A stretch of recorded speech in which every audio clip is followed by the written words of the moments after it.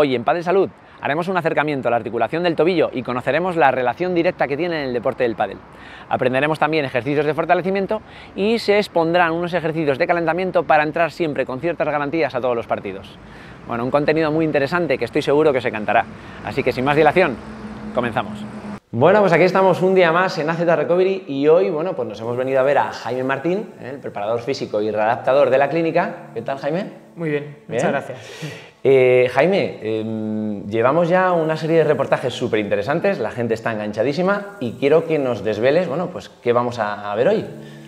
Pues hoy vamos a hablar sobre la importancia de la articulación del tobillo y cómo adaptarlo al pádel. Eh, trataremos, por ejemplo, también mucho ejercicio práctico, porque bueno, yo sé que, a la gente le parece súper interesante, pero, pero me gusta darle esa vuelta de tuerca en el que bueno, pues podamos aplicar lo que nos estás contando a luego si queremos hacer algo en casa, algún ejercicio, algo también de prevención, que ahora nos contarás, pero que entiendo que es súper importante para esa articulación.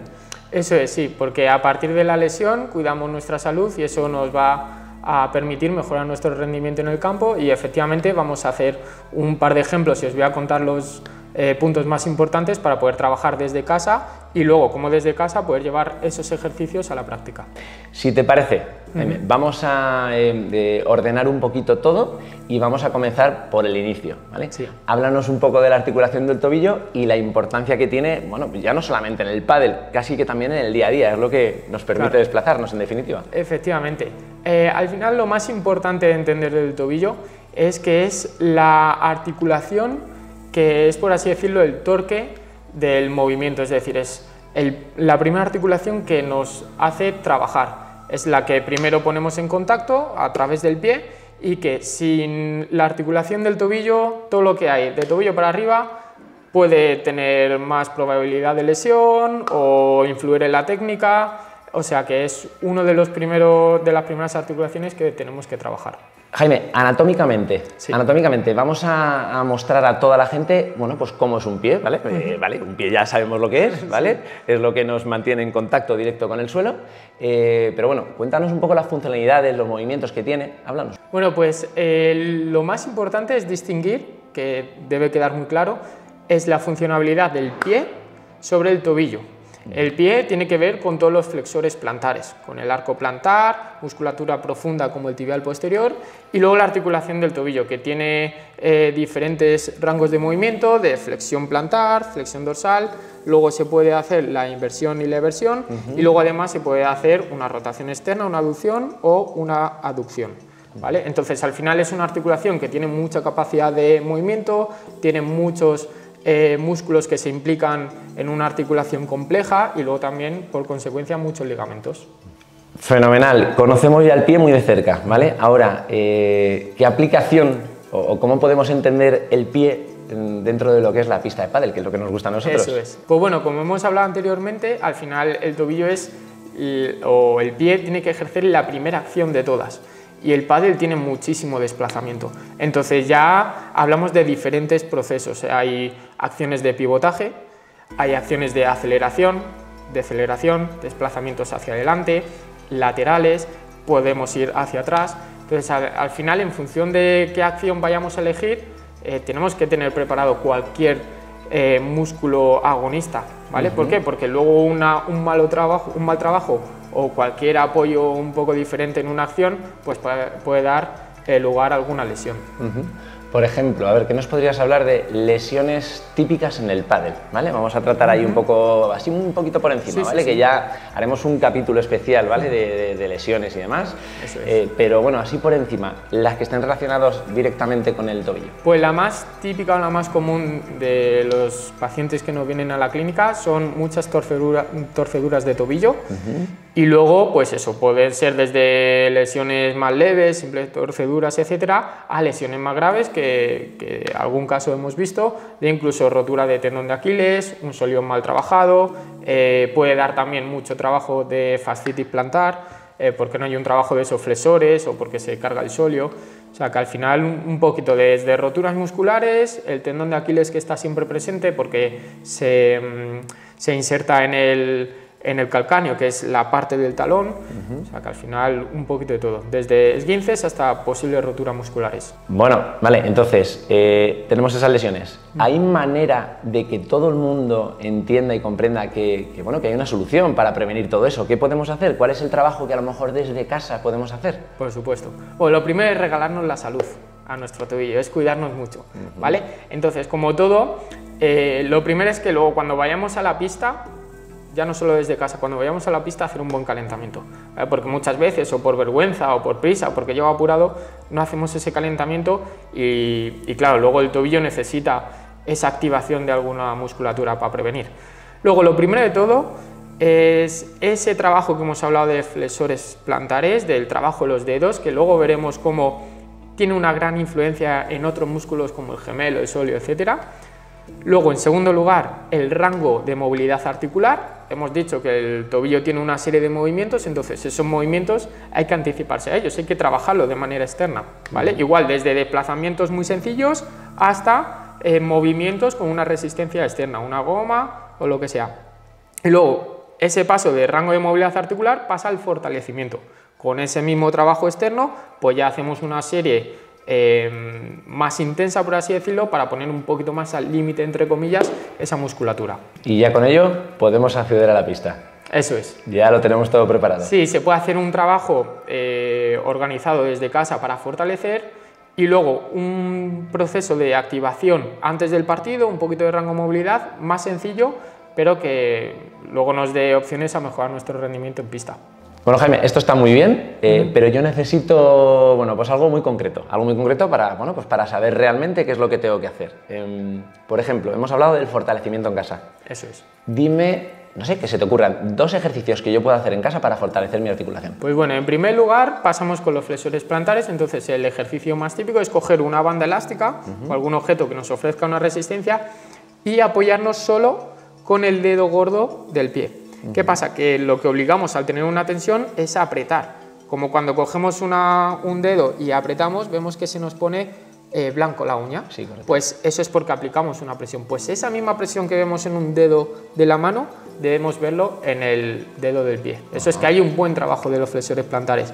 Entonces, desde ahí podemos hacer ejercicios como sentadillas, elevaciones de talones, cualquier cosa que se nos Pero teniendo una presión con el dedo gordo del pie. Eso es. Vale, para que se estimule mucho más y para que se haga una cadena posterior completa. Fenomenal. ¿Vale? Otro más. Otro ejercicio más, como veremos luego, son ejercicios con banda elástica. Podemos hacer eh, a lo mejor una flexión dorsal, nos situamos aquí, cogemos la goma y trabajamos con el tobillo hacia arriba. ¿vale? Que esto tiene mucho que ver con tema de deceleraciones, control de velocidades, etcétera. Ya he fortalecido en casa, me ha venido de cine, voy con mi tobillo, mi articulación 100% ahí ya poderosa.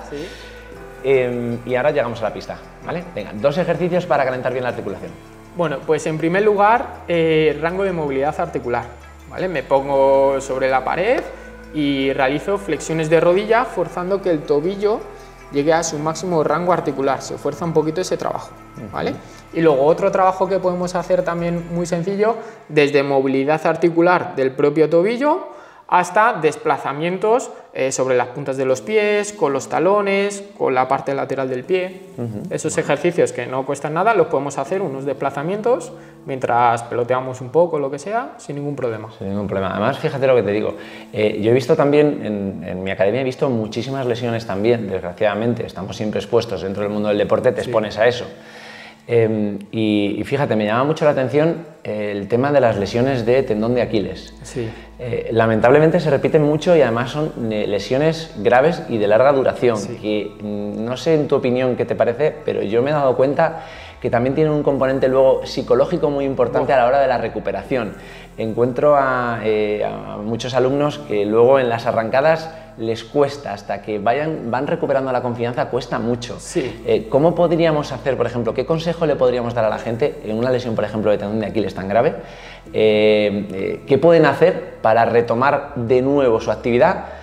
Con otra confianza, que les cueste un poquito menos? Bueno, en primer lugar, efectivamente has dado la clave. Yo, la lesión del tendón de Aquiles es una de las lesiones más psicológicas que he visto en su recuperación Eh, ¿Consejos que le podamos dar a cualquier persona que se enfrente a ese tipo de lesiones? Lo primero, obviamente, es ponerse en manos de un buen profesional, o sea, eso es vital, eh, que no tenga ningún tipo de descaro en dedicarle tiempo, paciencia y pues eh, eh, dar todos los medios posibles a, esa preparación.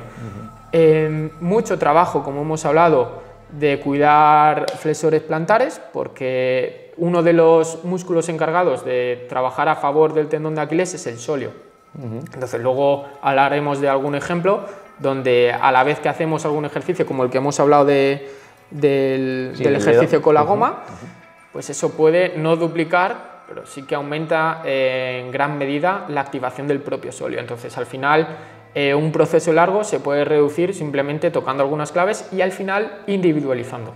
Es muy importante, nosotros hoy vamos a decir un par de ejercicios que podemos hacer todos en casa, pero ya en temas de rendimiento, en temas donde haya que dar un puntito más, si con lo de casa se nos queda justo, recuperación de lesiones, siempre, siempre, siempre individualizar. Y para eso está también la, la profesión del preparador físico, del redactador y esos eh, que realicen un buen trabajo en conjunto con, los fisioterapeutas, podólogos, entrenadores, muy importante. Siempre la comunicación entre todos los puntos es vital. Sí, eso también protege mucho al deportista, saber que su entorno está eh, bien coordinado a favor de él.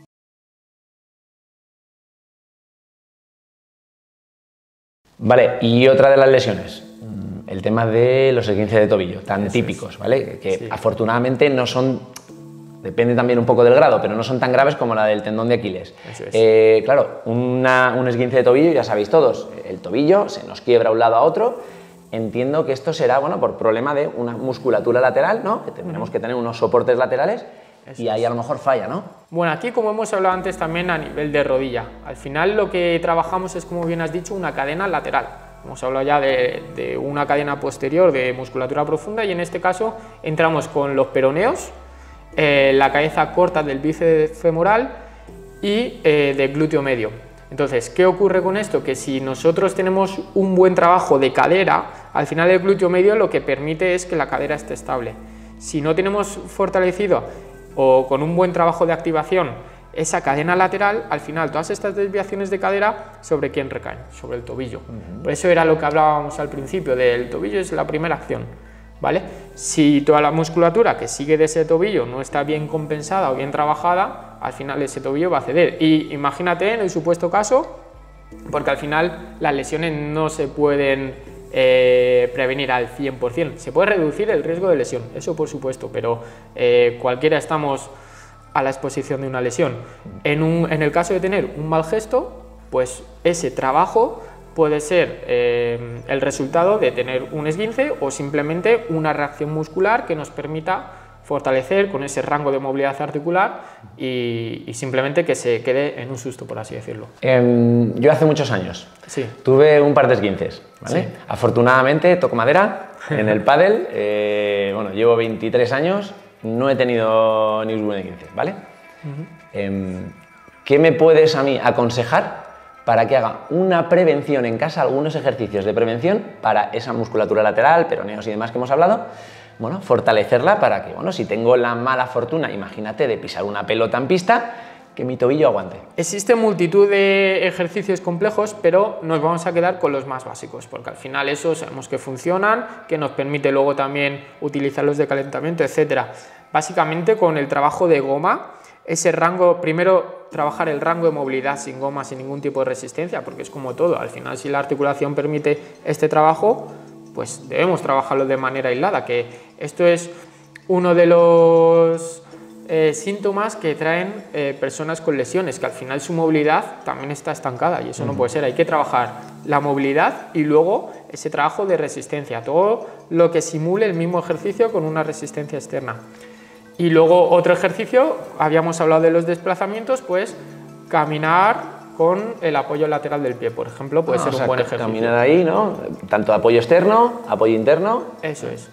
Todos esos ejercicios vienen muy bien. Luego es verdad que como hemos hablado de tema de individualización, vamos a ver ejercicios un poquito más complejos que incluyen fortalecimiento, equilibrio, eh, rango de movilidad articular, como luego veremos con la dorsiflexión, y todos esos ejercicios al final se les puede poner un elemento externo. Lo mejor es que un profesional te ponga esos elementos externos, porque mm, a priori no conocemos cómo está nuestra musculatura, si está compensada, si no, si tenemos más fuerza en un lado o en otro, y si luego al final, cuando emitimos una señal eh, motora, los músculos reaccionan acorde a esa señal. Si hay uno que activa antes, otro más tarde, entonces eso siempre debemos tener un control profesional. Bueno Jaime, de momento me llevo muchísimas ideas ¿eh? y además esto me encanta de tener ideas para poder trabajar en casa. Eh, yo soy mucho de trabajo en casa. Eh, me llevo ideas de fortalecimiento, me llevo ideas de calentamiento, me llevo muchas cosas. y también otra de las ideas que me has dado es bueno, hacerme entender que el pie es la primera articulación que está en contacto con un agente externo, a nosotros, que en este caso es el suelo. Nos permite el equilibrio, pero, claro, hay muchas veces que esos estabilizadores eh, del pie pues pueden estar un poquito descompensados, ¿verdad? Eso nos, llevaría a problemas y a futuras lesiones. Eh, me has contado que, bueno, pues que los profesionales podéis testar, podéis valorar dónde está el problema. ¿Qué herramientas tienes para saber si yo, por ejemplo, tengo un pie con cierta inestabilidad? Bueno, al final, eh, en la actualidad contamos con multitud de herramientas que nos permiten hacer testajes, valoraciones, e incluso trabajo de campo. Estamos en una sesión, tenemos unos objetivos de trabajo y podemos medirnos siempre con datos objetivos hacia el objetivo marcado.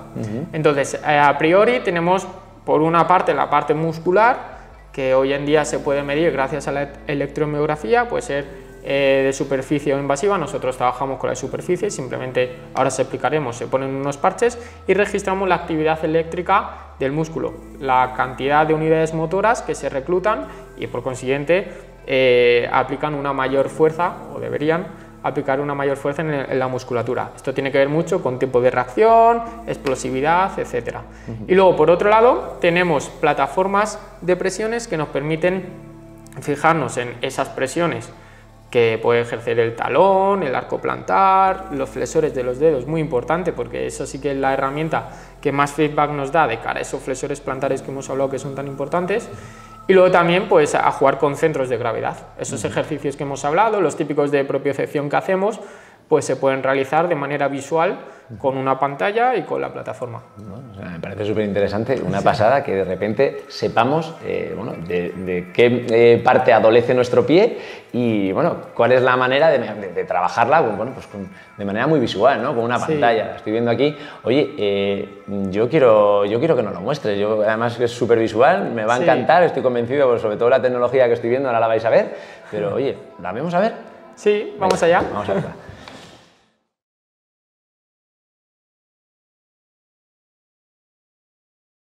Bueno, Jaime, vamos a ver, y tenemos aquí mucho aparatito, ¿eh? mucho aparatito por aquí. A ver, ¿qué nos puedes contar? Eso es. Bueno, aquí os presento el eh, electromiógrafo de Endurance, ¿vale? Esto al final lo que nos encargamos es de valorar la musculatura, ¿vale? Todo esto funciona a través de electromiografía de superficie con estos parches que nos ponemos en el músculo que queramos eh, medir o valorar y lo que hace es que esta señal nos registra la cantidad de fibras musculares que se activan durante el ejercicio.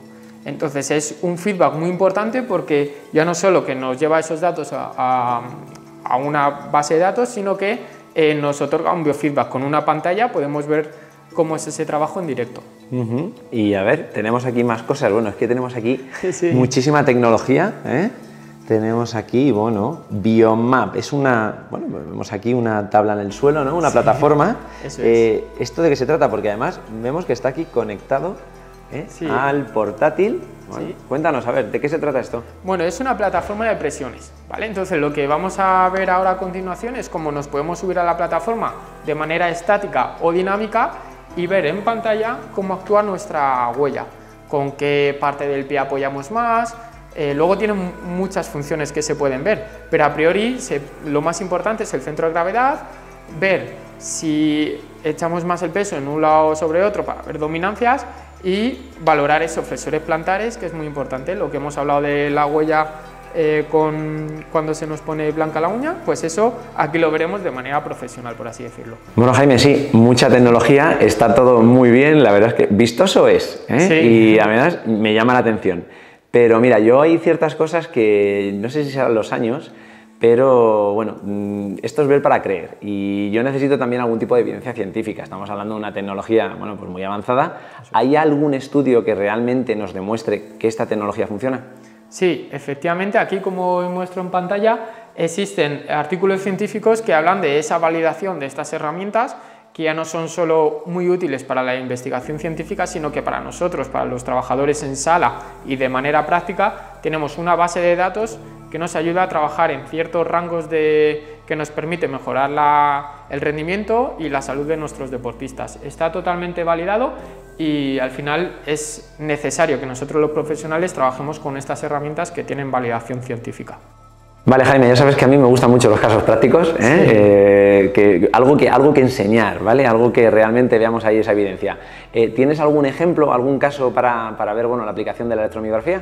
Sí, bueno, aquí al final hemos trabajado con multitud de pacientes con lo que hemos aplicado la electromiografía y ahora vengo a enseñarte un caso de justo lo que hemos hablado antes, una rotura de tendón de Aquiles, cómo hemos estado valorando con la electromiografía que sale aquí trabajado, ¿vale? como ya está puesto de manera superficial, y el mismo ejemplo con la banda elástica en el flexor del dedo gordo del pie. Entonces lo que hacemos es un pre sin esa activación de la goma y un post con la activación de la goma.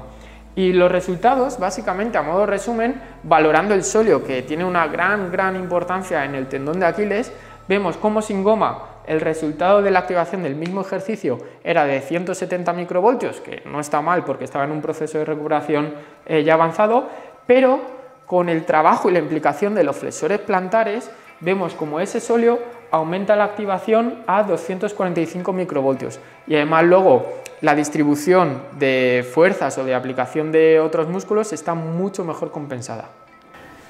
Bueno, Jaime, ¿y te has descalzado? ¿Qué me vas a enseñar ahora? A ver, cuéntame. Bueno, os vamos a enseñar un ejemplo de cómo solemos trabajar con la plataforma de presiones, ¿vale? Entonces, nos subimos a la plataforma, ¿vale? Y podemos ver en pantalla cómo es nuestra posición actual con el apoyo. Bueno, ahí se me ve incluso, esto está muy bien, me he sorprendido gratamente. Tengo hasta buena activación en los flexores plantares, que si no, se nos vería así. Muchos pacientes que vemos nos vienen así por cualquier problema del ayus o lo que sea, que no nos permite hacer ese trabajo ahí. También nos permite, como vemos, eh, ver eh, la distribución del apoyo, de la pisada, del peso en un lado o en otro, y vemos en el centro un puntito, ¿ves? Me muevo para un lado, se va el puntito a la izquierda, al otro lado, ese es el centro de masas. Eso luego tiene muchísima aplicación ya no solo en evaluaciones de tobillo, sino queremos hacer un trabajo de peso muerto, de sentadillas. Eh, vemos también sobre dónde cae el centro de gravedad dentro de nuestro pie. Entonces, ese trabajo ahí, a la hora de trabajar, nos guía mucho tanto al atleta o al deportista como al entrenador para hacer un feedback visual. Se trabaja de dos maneras. Sin poner la vista en la plataforma para que esto sea unos resultados reales y luego ese trabajo de corrección lo podemos hacer mirando. ¿vale? Entonces, esto nos permite hacer muchísimo trabajo, tanto en monopodal, bipodal o dinámico. Claro, por ejemplo, lo que hemos hablado antes de eh, estabilizadores del tobillo. Evidentemente, eh, tenemos un trabajo que no, no va equilibrado, podemos reeducarlos, entiendo. Eso es. Mira, incluso ahora mismo podemos hacer ahí ejercicios donde me pongo de movilidad articular en la parte lateral del pie, en la parte interna del pie, y ahí ya podemos ver cómo afecta nuestra estructura. Podemos hacer también un trabajo de máxima fuerza con los dedos del pie y vemos cómo se desactiva eh, la parte lateral por el arco plantar. Esto tiene mucha aplicación para luego pie plano, etcétera, y vemos ahí el puntito rojo de los dedos, la fuerza, eh, me estoy muriendo, la fuerza que podemos aplicar mientras trabajamos. Y luego ya relajamos, vemos la pisada, entonces tiene muchísima aplicación práctica, ¿vale? Ahora mostraremos algún ejercicio con la plataforma para comparar un pie, cómo trabaja con esa goma que hemos hablado y sin la goma en el otro pie. Bueno, a ver, ¿qué tenemos aquí? Nos has preparado una pesa con una banda elástica. Eso es, pues bueno, ahora esta banda elástica lo que vamos a hacer es generar esta posición tirante y lo que vamos a hacer es sujetarla con el dedo gordo del pie. Ahí, de tal manera que si yo me relajo, eh, se me escapa la, la banda y ahora mismo estoy aplicando mucha fuerza. Ya a priori podemos ver diferencias en la pantalla de un lado y en otro. Vemos que con el pie izquierdo toda la parte de los flexores plantares está amarillenta, ¿vale? Y en el otro lado no existe ese trabajo, además me permite trabajar muchísimo el arco plantar, que es súper importante. ¿Vale? ¿Esto cómo vemos que afecta también en nuestro rendimiento? Pues porque vemos que al hacer ese trabajo ya el peso se nos va hacia el otro lado, porque esto es una posición eh, que nos hace trabajar más el desequilibrio, etcétera, entonces es una opción muy buena para tener feedback visual.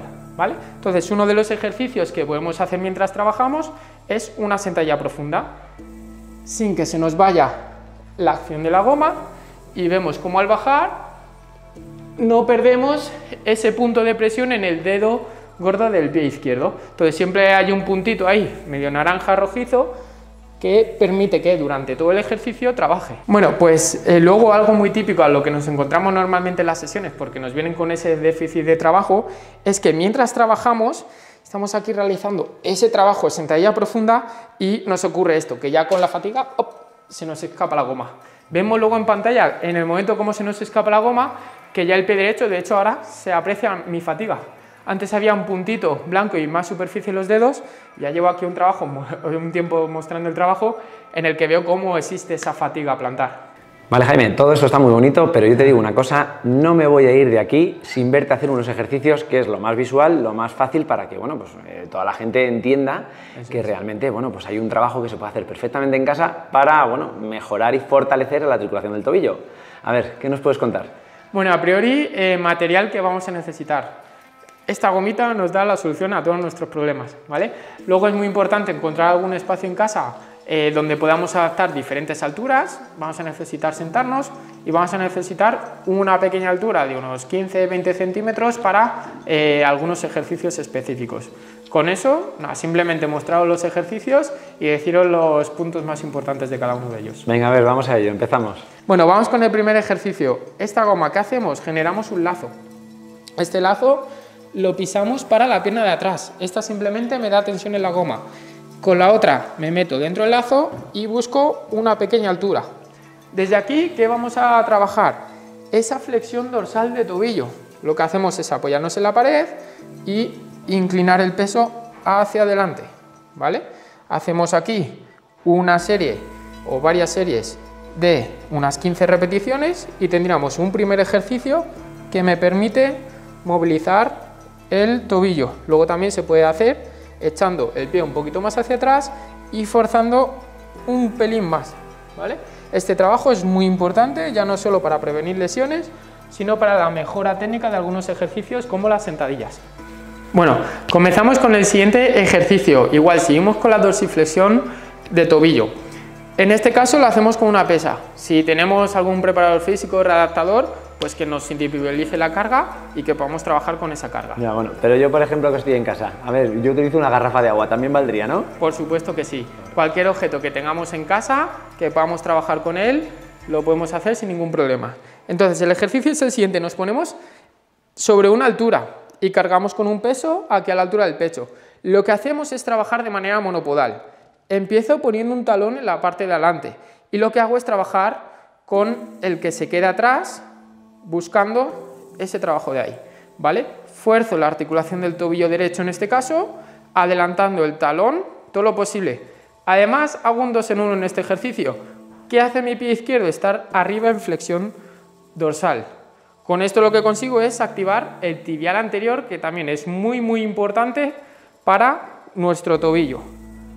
Bueno, ahora vamos con el siguiente ejercicio donde os voy a contar cómo trabajar el sóleo. El sóleo que tiene que ver con ese tendón de Aquiles que hemos hablado antes. Muy importante diferenciar de trabajo de gemelo a trabajo de sóleo. Entonces, lo primero que vamos a hacer es estirar el sóleo.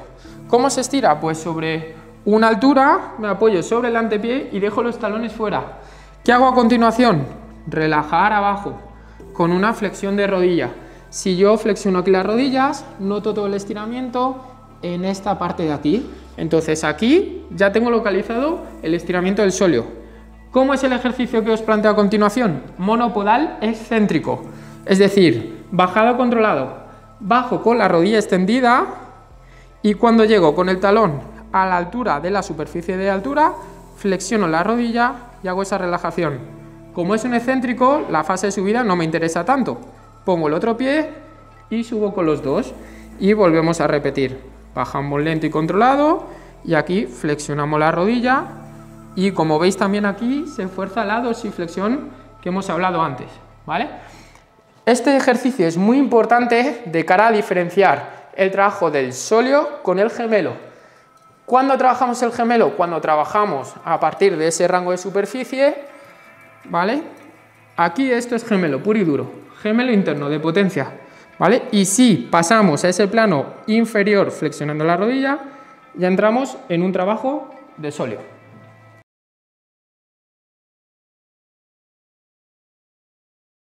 Bueno, Santi, pues vamos a hacer el último ejercicio de hoy, donde os voy a explicar un ejercicio también excéntrico para ese sóleo, para esa cadena posterior, también tiene tibial posterior, en el que sirve mucho para ese proceso de deceleración. No olvidarnos que muchas veces el trabajo que vemos externo al atleta es de todo potencia, explosividad, aceleración, pero no nos olvidemos de la deceleración, esas frenadas que hay que dar en pista cuando subimos a red, posición estable o cuando vamos al final de la pista y tenemos que agacharnos para hacer algún globo.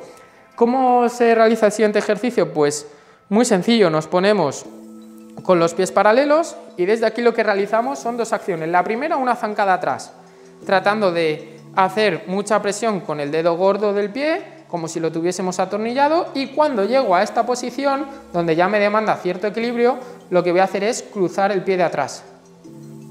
Alargo ahí unos segunditos y vuelvo a la posición original. Repetimos una vez más.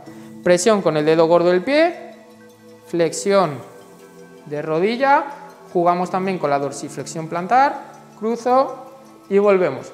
Se nota muchísimo en la parte interna del sólido.